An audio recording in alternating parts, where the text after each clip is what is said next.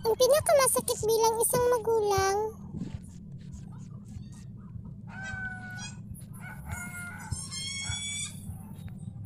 yung may hinihingi ang mga anak mo.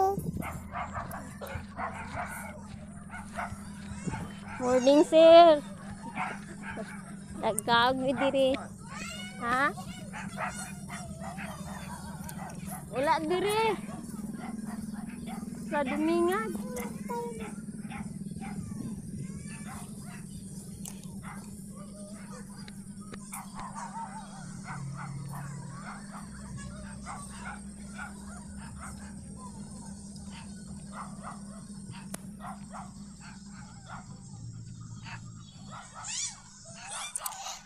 Kang maibigay kasi wala kang pera.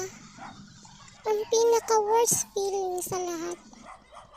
Bawat oras, bawat araw, minuto, yan ang lagi mong iniisip. Kaya, pagbutihan natin upang itaguyod sila, mapag-aral sila, kahit mahirap lang tayo. Gigampanan natin ang pangangailangan nila. Kayod lang po ng kayod. Hindi natin alam ang panahon.